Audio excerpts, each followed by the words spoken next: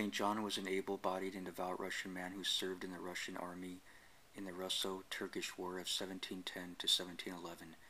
Falling into the hands of the Tartars, St. John was sold as a slave to a Turkish cavalry commander who took him to his home in Procopia, now Urgup, Turkey.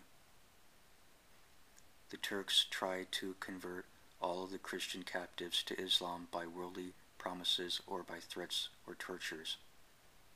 St. John was beaten but did not deny Christ. His calm faith soothed his master, who stopped beating him and made St. John take care of the sheep and cattle and live by the horse stable. St. John served his master with energy and became beloved of him and the other servants. By St. John's request, he remained living near the horse stable to have time for nightly prayer. St. John was also merciful and was charitable even, even in his poverty. In time, many Christians there came to him for spiritual counsel, as there was at that time no priest to serve in Procopia. At the end of his life, St. John asked for a priest who secretly sent him Holy Communion in an apple, which he received and then died in 1730. His relics were found to be incorrupt three years later.